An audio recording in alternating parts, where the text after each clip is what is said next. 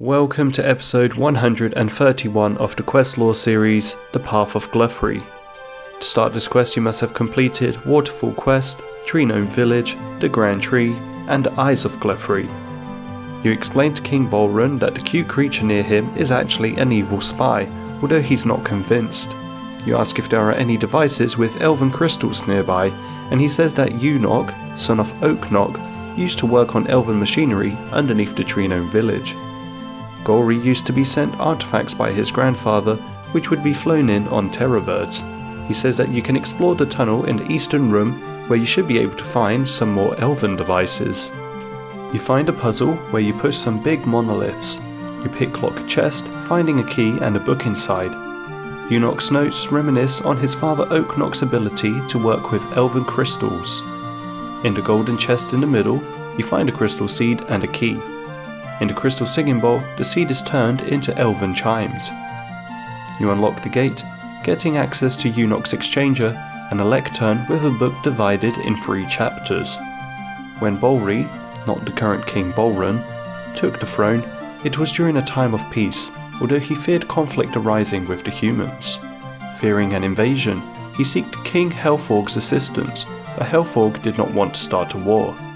King Bolri's advisor insisted that humans will attack. As Healthorg reached the end of his life, Bolri pulled a stunt where he tried to take rule instead of Healthorg's son, Argenthorg.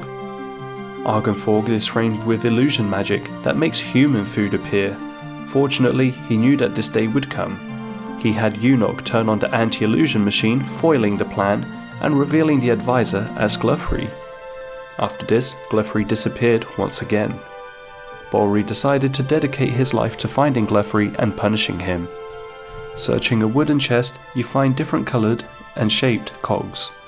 Exchanging the right tokens for the right values, you reactivate the anti-illusion machine, revealing the cute creature to be an evil creature. You attack it and talk to King Bolren. When Glouphrie left the lands, he founded a city called Arposandra. He suggests you speak with Longramble, who's been looking for the city, and you can start by speaking to Aluft Gianne Jr. at the Gnome Restaurant. He's been meaning to deliver a food order to Longramble. He has his coordinates but can't find them on Dougal maps. His maps are written on dried Dougal leaves. East of the Toxic Wasteland, equipping a crossbow with a mithril grapple, you go across the river and find Longramble. He's looking for the edge of the world. You say the world might be spherical and there's a magical force bringing everyone down to the ground. He thinks it's clearly flat and you don't understand the gravity of the situation. Here you find a spirit tree called Incomitatus, which seems ill. You can speak with the tree because you've interacted with Hazelmere's magic before. The tree lost his connection to the Anima Mundi as his roots are corrupted by the black ichor of the swamplands. From a distance, Hazelmere is interrupted from a deep meditation on the future, and he is able to see what's wrong with the tree. He believes that Glouphrie could be the one involved in separating this spirit tree from the Anima Mundi. Fortunately, the crystal chime in your inventory can help cleanse the tree, which regains his spirit. To the west, you see the entrance to a cave. You're inside a dungeon with warped tortoises and warped terror birds, which you run past. At the end of the dungeon, you find a room with three high level warp terror birds. After you have defeated them, a cutscene plays. In the next room, two guards press the emergency red button as they hear you approach. You get stuck in the swamp tar and poisonous gas fills the room. As you're knocked out, Hazelmere communicates with you. He uses a special teleportation pod called Megal to get you out of there.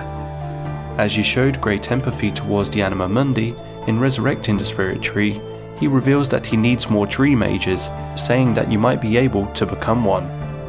He also shows that he is able to speak the human tongue. Then he speaks a riddle. Skilled brothers, numbering eight, will assemble to fight the Majorat Deceiver, and they will be heading northwards to confront him. He sees you dressed in an evil garb of night, lightly decorated with ochre, burnished gold, and the rust colours of autumn leaves.